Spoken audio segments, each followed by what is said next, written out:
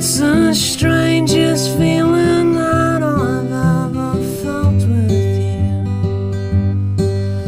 You left at 10 o'clock on a train back to New York. A little heart was written on your hand. Summer